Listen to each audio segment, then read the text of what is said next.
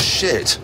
The steering works, but I have no gears and no throttle and no braking. I'm going to have to retake control.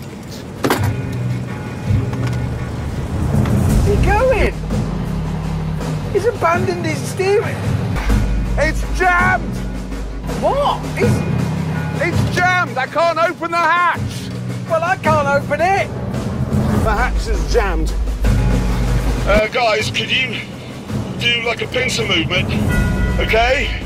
Come alongside me at the same time and try and slow me down.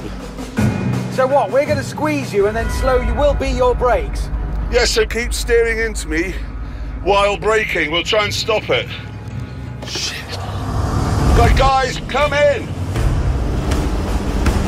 Roger. If this works, it'll be a miracle.